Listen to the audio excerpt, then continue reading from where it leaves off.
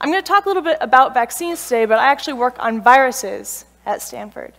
The other day, I went to uh, a little video game conference and I, I was playing this game called, uh, does anybody know the name of this game? Oregon Trail. And unfortunately, one of my characters, who's actually the, the speaker who just gave the presentation, Katie, got measles. And I thought that was so funny, and I was thinking about all of you guys because today, that's not a problem. People don't get measles today. But back on the Oregon Trail in 1848, that was one of the problems that my characters encountered. We have been dealing with vaccinating diseases for more than 200 years. And the first vaccine was developed by Edward Jenner for smallpox. So, Dr. Jenner, he was trying to figure out why some people got smallpox and why some people didn't. And he noticed particularly that milkmaids did not get smallpox.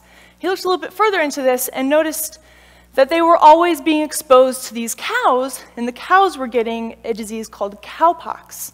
So, because the milkmaids were exposed to a very similar virus, cowpox, they were then able to be immunized against the smallpox virus. So, by getting one of these types of viruses, their immune system recognized that this kind of thing was bad for it and protected against smallpox. Some of these vaccines have been developed within your lifetime. I know I remember getting chickenpox as a kid. Have all of you gotten chickenpox? Did anybody get the chickenpox vaccine? Yeah. So, so I remember I was young and my, my older sister and I got chickenpox, but my little sisters got the vaccine and they never got chickenpox. I will never get chickenpox again because my body knows what it looks like and is able to fight against it. But similarly, my little sisters won't get chickenpox either because they got the vaccine. So their bodies know how to fight against it and prevent it. So we get a lot of vaccines as children, and then we also get boosters for these diseases as adults.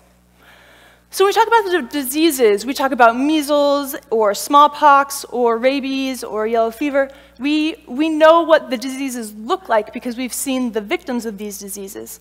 But I'm actually going to talk about the pathogens for these diseases, which are little tiny microbes that infect cells and cause the body to get these diseases. And so there are different ways to protect against, or rather to combat these diseases similarly to antibiotics or antivirals.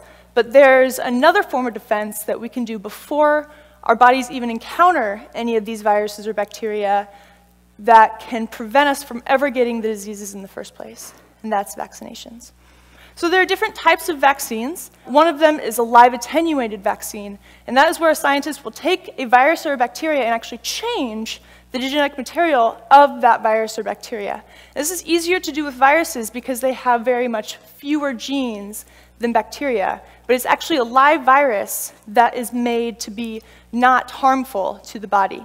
There are some disadvantages of live attenuated vaccines because there's a very small chance, and usually not a chance at all, that it might revert to a uh, pathogenic virus. It's also bad for immunocompromised patients to get these kind of vaccines. And also they need to be refrigerated. So different countries that might not have access to refrigeration have a harder time to get these there is an inactivated vaccine where scientists will actually kill, going to say this in quotes, kill the pathogen um, by either heating it up or exposing it to chemicals or different radiation. And these are a lot safer than live attenuated vaccines. However, they aren't as, um, as strong. So usually people need to get boosters against viruses that use these inactivated vaccines. There are subunit vaccines. So the part of the virus or the bacteria that is actually pathogenic is usually on the outside of the virus or the bacteria. And so scientists can take these antigens and actually just use those as the vaccine. So just presenting the antigen to the body will elicit the immune defense. There are also toxoid vaccines. A lot of times bacteria cause disease because of the toxins that they release. So scientists can take these toxins and kind of de toxify them by adding formalin to them.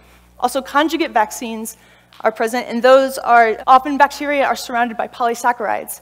And so young immune systems, like infant immune systems, don't recognize those polysaccharides as being a problem, so they'll, scientists will attach the polysaccharide to a known antigen and then use that as a vaccine. Adjuvants are very important in vaccines. Adjuvants are uh, usually aluminum salts that are added to the vaccine that trigger a danger to the, to the person. So in the bloodstream, having these adjuvants present along with a smaller amount of the actual vaccine will allow the immune system to know that it needs to make a large response to this antigen. So how do vaccines work? When a vaccine is entered into the bloodstream, it is recognized by an antigen-presenting cell. The antigen-presenting cell, or APC, takes in the antigen, breaks it into little pieces, and then presents it on the outside of the cell. It kind of just shows it to all the other cells nearby. It goes to places in the body, like lymph nodes and such, where actual B cells and T cells will accumulate. These T cells recognize that the antigens presented and alert other T cells and B cells that there's something bad in the body.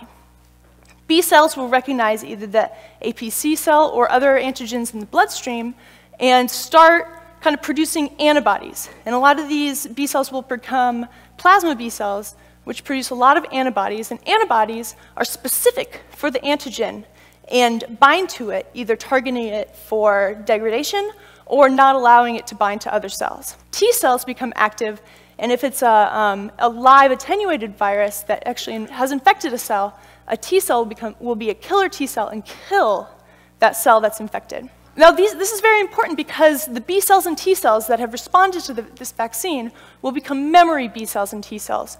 And so when an actual pathogen is present, these memory B cells and T cells will already be available and ready to combat this virus or bacteria. So it's instead of having one soldier present to combat the, the invader, you have an entire army present to combat the invaders. So there are some caveats to vaccine development. First of all, there's a high mutation rate in pathogens. Our bodies have a DNA-dependent RNA polymerase, so when we replicate our cells, it's a lot more precise. The polymerase can go back and change any mistakes that it, may, that it makes before going on. Many viruses have an RNA genome, so in, in this example, influenza virus has an RNA genome, which does not have this ability to go back and fix any errors that it makes. So it's very error prone.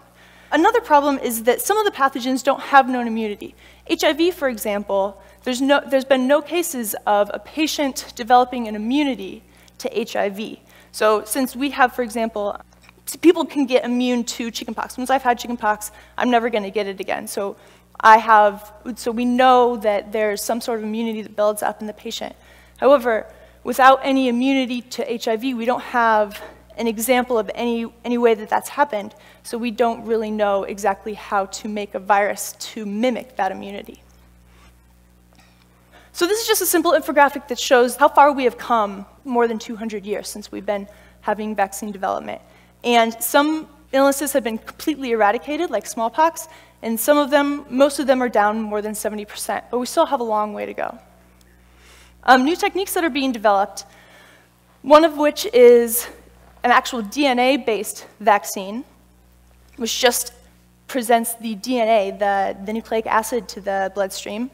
One is a virus vector vaccine, which allows the DNA of a pathogen to be put into a virus or a bacteria that we already have immunity against, or not harmful virus or bacteria. We have delivery techniques, and I think that there are at least one or two different viruses that I can think of that use a nasal spray, like influenza. And then also there's a patch technique being developed. So instead of a needle in the arm, you get a patch with many little needles that delivers the vaccine, and that's good for different countries. So one, the last thing that I'm going to leave you with is how important vaccines are not just for the individual, individual, but for the community. So I get my teeth checked because for me, I don't want cavities, and that's just what I can do for myself. But for the community, we get vaccines to protect everyone, to protect your little niece that's just born, to protect your grandfather who might have an immune compromised system. So if we have an unvaccinated group and we introduce a pathogen, everybody gets infected. If we have many people who are vaccinated and we introduce a pathogen, then the many vaccinated people will protect even some of the unvaccinated people. If only a few people are vaccinated, then there are very few people who are actually protected from the vaccine. So in summary, we've come a long way in vaccine development, and there's even more to do. And scientists are currently working on very, very many new types of vaccines, new vaccine development, and we, as a community, can help each other to, and help the scientists and help the world to eradicate some of these diseases. So I'm just going to leave you with the suggestion to get your yearly influenza vaccination.